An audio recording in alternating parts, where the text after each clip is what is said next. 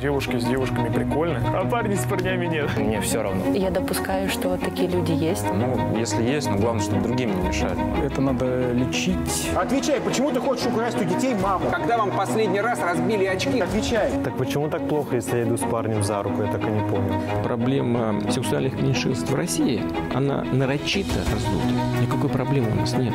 Christian Life. В прямой трансляции обсудим. Угодно ли Господу гомофобия?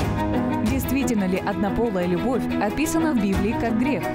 Что необходимо изменить в себе гомосексуалисту, чтобы церковь его приняла? Меняется ли уже церковь в отношении ЛГБТ-комьюнити?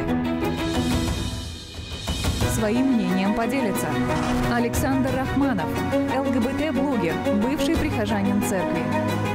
Я понял, что я гей где-то в 11 лет. Мерзко, стрёмно, неправильно, гадко. Он на меня накинулся, стал изгонять из меня бес. Во что бы то ни стало, я обязательно себя исправлю, я перепробую все. Я женюсь, и Бог меня освободит в этот же день. Сергей Мажуга, пастор молодежной церкви ICF Тель-Авив. Что это говорит для нас? Все совершенно по-другому. И если на этом заканчивается наше христианство, то мне очень жаль. Андрей Лукьянов, пастор церкви Дом Божий. Человек обнаруживает свою тьму, он обнаруживает свои заблуждения. Какая-то ущербность, грязь какая-то в этом во всем есть. Ведущий Томас Кристиан. Устал быть геем? Позвони. И мой номер телефона. Не пропусти. Четверг, 26 августа, 20.00 по московскому времени. Прямая трансляция Кристиан Лайф.